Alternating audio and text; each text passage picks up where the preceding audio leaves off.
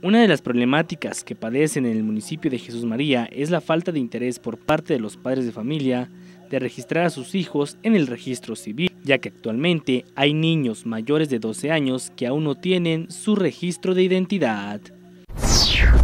Niños que tienen años sin registro, por ejemplo, que es un derecho primordial, el derecho a tener una persona, un origen, un, tener una identidad, saber de tus apellidos, cuando naciste.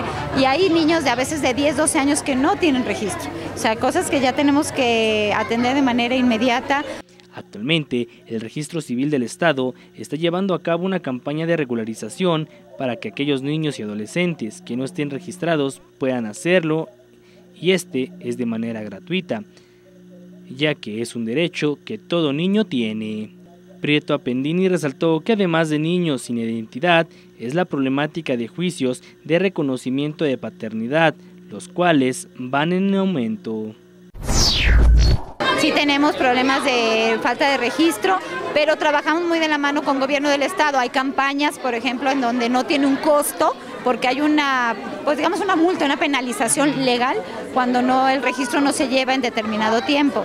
Entonces trabajamos de la mano con gobierno del estado en estas campañas de registro extemporáneo y este y a, su vez pues bueno si no vamos al registro civil tenemos muchos casos también de juicios de reconocimiento de paternidad también y les damos seguimiento porque pues, es un derecho primordial. Con imágenes de Guillermo Lueva nos reportó para informativo Juan Miguel Villalobos de Luna.